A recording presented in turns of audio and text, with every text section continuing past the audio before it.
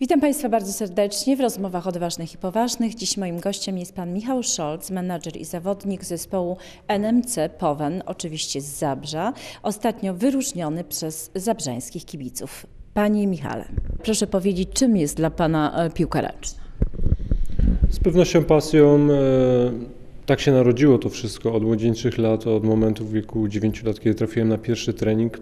Oczywiście zaangażowanie, potem przerodziło się to w jakąś pasję, a teraz jest to sposób mój na życie. Był Pan przez jakiś czas w Niemczech, grał Pan w piłkę ręczną, później był Pan menadżerem, teraz menadżerem i zawodnikiem. Która z tych ról odpowiada Panu najbardziej?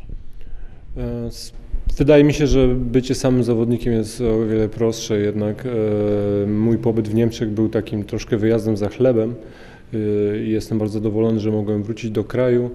Mm, Ta sytuacja z pewnością jest przejściowa i, i w pewnym momencie zostanę już tylko menadżerem, ale na razie pozwolono mi jeszcze cieszyć się tą grą na boisku. No, Zabrze ma ogromne tradycje, jeżeli chodzi o piłkę ręczną, y, bardzo y, poważne sukcesy. Y, Czy liczycie na kolejne? E, Będzie o to bardzo ciężko, ponieważ e, każdy sport e, poszedł w stronę profesjonalizmu i tutaj osiągnięcie takiego wyniku w ciągu kilku lat jest bardzo trudne. Jak pokazuje przykład Vive Targi Kielce, oni pracują na ten wynik, który mają teraz około 10 lat. Tak więc przed nami kupę pracy, ale mam nadzieję, że kiedyś wrócimy do tych takich najbardziej znakomitych tradycji. Panie Michale, czego Wam najbardziej brakuje? Talentów, y, miejsca, gdzie rozgrywacie te mecze, sponsorów, bo czegoś może brakuje.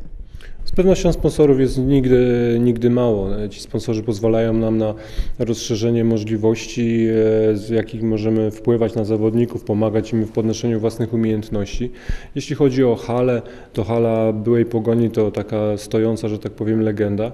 I na razie te tysiąc miejsc, które tam jest, w zupełności nam wystarcza. Ta hala ma swoją jakby wewnętrzną taką urodę czy urok e, i też troszkę przez tą swoją, powiedzmy w cudzysłowie, ciasnotę demobilizuje czy odstrasza przeciwników.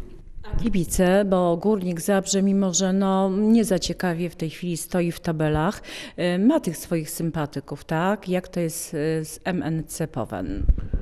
E, Jest różnie, ale od momentu, kiedy drużyna, że tak powiem, odrodziła się dwa lata temu, uzyskaliśmy ten awans e, do ekstraklasy. Jest tym coraz lepiej cieszymy się z tego. Mamy nadzieję, że, że tych kibiców będzie coraz więcej, bo naprawdę hala Pogoń przy tysiącach ludzi, przy tysiącu ludzi w środku jest bardzo emocjonującym, że tak powiem, miejscem. Panie Michale, nie sądzi Pan, że w, są takie czasy, że często sport miesza się z polityką? Czy tak jest, czy nie? E, Myślę, że te czasy po, po troszkę już minęły, ponieważ jednak teraz e, zdobywanie sponsorów opiera się jednak na jakimś produkcie rękowym. I tutaj nie ma czegoś takiego, że ktoś przychodzi po prostu i z urzędu mówi, że ma być tak i tak, jak to było w czasach kopalni.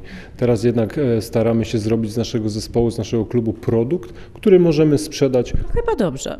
To, to z pewnością dobrze, bo wszystkie reguły są w tym momencie jasne i klarowne. Marzenie Michała Szolca, menadżera i zawodnika MNC Powen. E, Mistrzostwo Polski z pewnością e, zdaję sobie sprawę, że już nie jest moją osobą w roli zawodnika, ale z pewnością najwyższe laury w kraju, e, walka z najlepszymi zespołami w Europie. Myślę, że wszyscy Zabrzanie na to czekają. Czekają, tym bardziej, że drużyna, reprezentacja kraju odnosi sukces.